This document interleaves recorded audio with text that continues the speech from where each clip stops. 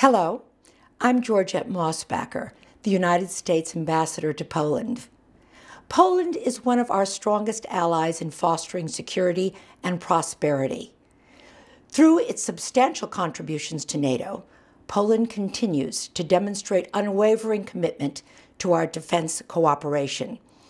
With joint training and exercises, cooperation among military units, and enhanced interoperability, the U.S. Poland strategic partnership is poised to expand even further. President Donald Trump's pledge of an additional 1,000 U.S. troops will bolster our already robust presence in Poland. American companies, in collaboration with the Polish defense industry, help anchor this partnership by supplying the world's most advanced tools, equipment, and technology in the defense sector. We plan to further our defense technology and industry partnership in areas that are critical to regional defense and deterrence.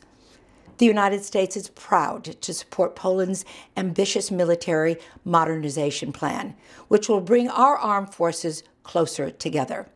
The MSPO gives us the opportunity to showcase our alliance with Poland and reflects the importance of our bilateral relationship. We are especially pleased to have Apollo 15 Command Module pilot, Colonel Al Worden, as the U.S. honored guest, highlighting America's achievements in space exploration. I look forward to a successful expo and to securing our future together. God bless the United States of America, and God bless the Republic of Poland.